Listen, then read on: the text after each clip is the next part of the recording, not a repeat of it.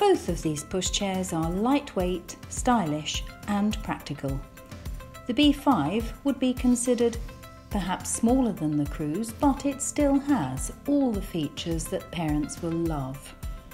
If you want to have more opportunity to customise your pushchair, then the Bugaboo Bee 5 is the one for you.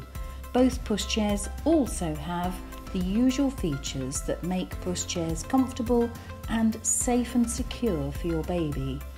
The Bugaboo Bee 5 and the Upper Baby Cruz are both high-end pushchairs and they are a great addition to any growing family.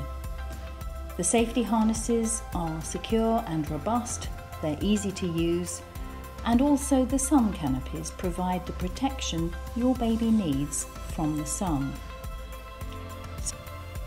When it comes to car seat compatibility, you'll be pleased to know that both these pushchairs are compatible with a wide range of car seats. The Bugaboo Bee 5 is compatible with car seats from brands including Chicco, Britax and Maxi Cosi.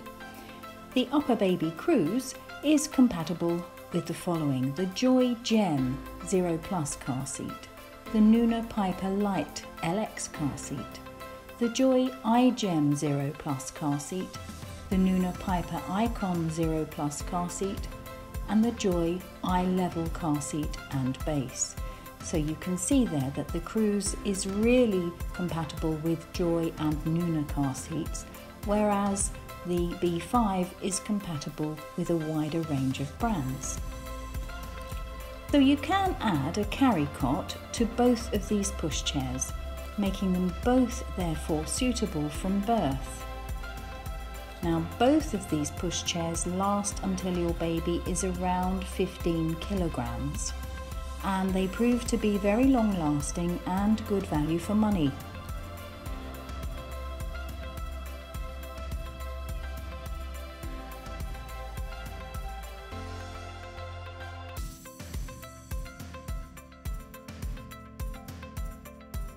The Bee 5 folds compactly with the seat attached in either direction it is quick and easy to fold with an auto lock and that keeps the folded pushchair together.